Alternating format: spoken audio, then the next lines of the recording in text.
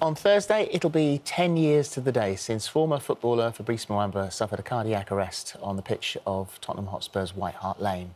After he collapsed in front of thousands of shocked spectators, medics battled for an astonishing 78 minutes to get his heart beating again and twice considered declaring him dead. Uh, as he continues to reflect on his miracle recovery, he joins us now, and it's lovely to see you. Yeah. Uh, thank you very much for coming in today. Um, 10 years, that's gone past quickly, hasn't it? eh? Yes, it has been a whirlwind experience. You could say 10 years and things have changed. Uh, I said that many times. I'm okay. I'm enjoying life, you know, so I can't complain. What, um, what do you remember of, of that day? Um, you remember just going to the game as per usual, um, looking up, for, looking forward to play the game, and then when the game is started, that I said many times before that uh, if I get to focus on you, I see double view, so my vision become very blurry, and out of nowhere I just fell down. That was the last time I was able to. Before that, though, you felt on the way to the stadium. No, there was there, no- you felt fit and healthy. Fit, I was healthy. I was, there was no no problem at all. So your heart stopped beating for 78 minutes and twice they thought about declaring you dead. I mean, how grateful must you have felt, felt to those paramedics that day? Uh, I've, I've, I've got a very good relationship with all those guys. That's including the ambulance crew, um, the doctors from both club, and I stay in touch with them. Um, the lady that works in NHS that look after me. So everybody that's did the job on the day. Yeah. I very much still speak to them. So from 2012, you still keep in contact Oh, yeah, yeah, with, those, yeah, with, yeah. with, Def- with all the medical staff yeah. that saved your life that day? Peter, who works for ambulance, uh, Jonathan Tobin, who was my doctors at Bolton, Peter, uh, the doctors at Spurs. So I still have a very, very good relationship with them. So. Well, you, um, I mean, you talk about the stars being in alignment. If that's going to happen, Mm-hmm. and nobody wants that to happen, obviously, but if, you were in the right place for it to happen, because um, in the watching, a fan um, was uh, consultant cardiologist and Tottenham fan, Dr. Andrew Deaner. Um, you had 15 defibrillator shocks in total, two pitch side, one in the tunnel, 12 in the ambulance. Um, but the ambulance, because it was a match and they're always on, on call and ready, the ambulance was 10 seconds away. So, you know, all of that, incredible. When you got to hospital and all the amazing care that you had, what was, when was the moment that you realised how serious it was and what had happened to you? I mean, after I woke up, and, and there was so many people coming in around my room to see me, but nobody wanted to actually tell me exactly what happened to me.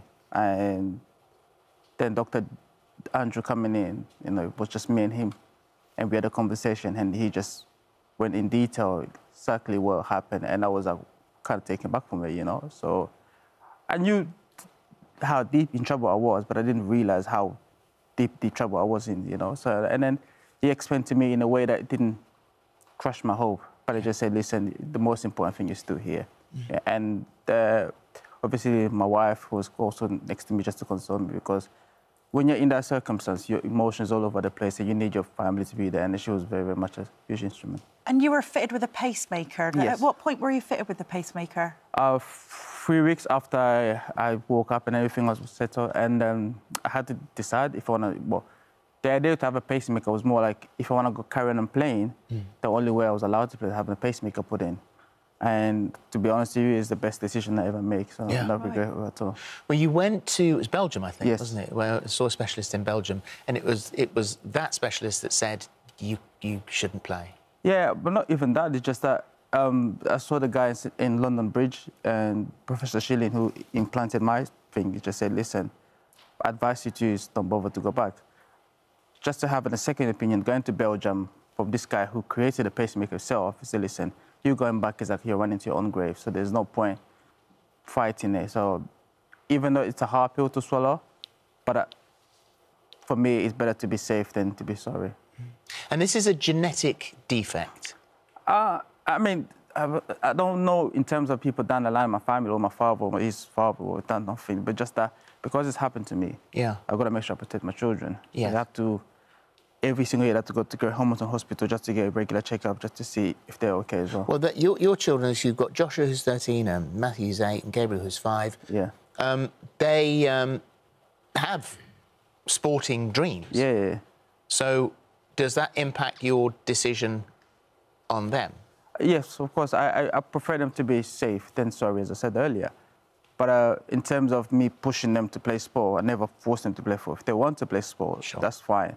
But I just want my children to be something that I wasn't now. So in terms of football, I've already I've done the hard work. They can do something else rather than just become a footballer. As I said earlier, football is great, but it's a short career. You don't play to your 40 or 50. You play to your 37, 33. Don't know. Whereas if you have a, a professional career, then you can have, have, have a happy life. And I always say to my children, whatever you do, I'll advise you, I'll, I'll be there for you, and I'll support you 100%. Oh, lovely. What was going through your mind when you saw Christian Eriksen have, Um, um, have his cardiac arrest at the Euros? we were at a family barbecue and uh, everybody was outside. I was watching the game. Then to see it happen, Yeah. you almost like in my head, I'm thinking, please, I hope not. I really hope not. And I was just happy that by the time he left the pitch, he was awake. Right. You know, and that's the biggest relief for me. I just, and the, the biggest thing came out of Euro that, that year is that after anything happened, Christian being healthy and safe, that's the best thing that ever can happen at Euros. What you are doing, um, which is so vital, uh, is you are campaigning for more defibrillators. Yeah. You know, as we as we heard, you know, sort of you had 15 shocks. It's of literally, you know, that that piece of kit saved your life uh, and the people around you. Um, and also not just having the defibrillators, but knowing how to use Yes. them. I mean, with, with a defibrillator, I think the way we have fire extinguisher in every building, I think it should be mandatory that kids in school should know how to do CPR, kids in school to know how to use a defibrillator, because you don't realize how important it is to you find somebody or your loved one in that difficult circumstance, and you need to use a defibrillator. And I think it's a, it's a skill that it's been overlooked and barely been, no, you know, been spoken about. And I think something like that, it has to be taken serious. And we see every single year. We see it, there's a, you know, we see in, in a Premier League game where people collapse in the stand, and there's a fan who helped each- each other. So everybody has a role to play. It's all about people being educated and then also using the, being, have the best, best access to a defibrillator. Uh, and thank God everybody was there that day and they all knew their role to play. Um, now, you've had a big role to play. You've always been very, very active, but obviously in your recovery, you couldn't, you know, carry on with that activity anymore. Was it hard? Uh, yes, because obviously my life was more of a I wake up in the morning, seven to eight, I get ready, nine o'clock, I get training. So to change your routine, it was a bit, it was a, big one, a huge one. But as time goes on, you start to find a routine, you know, take the kid to school, all that kind of stuff. So that's that's great. Well, you've you've you haven't given it up because No, uh, you're a brilliant player, uh, and passing that knowledge on to younger Yeah. players. And you've been working with uh, with younger players. You're at uh, hopefully at Bolton in the in the summer. Yes, uh, we've had a conversation, uh, and then it looks very promising. I'm hoping to, to get back in there, and hopefully I can come and help the football club. Because I said people of Bolton, they were great towards me, and I have a huge affiliation with the club. And I said I'm coming, I'm coming to help the club go and move forward. Oh, it's lovely to see you, Fabrice. yeah, always thank is. you. Thank you. you Thank for you. coming in, Stay well. sharing that with us today because it was a massive day and, and to relive it mm. all the time is, yeah. Well, you've only watched that footage once. We decided not to play it today, but you've only watched that once, and That's the- fine. you know, you know, you know what happened. You've been told. Thank you.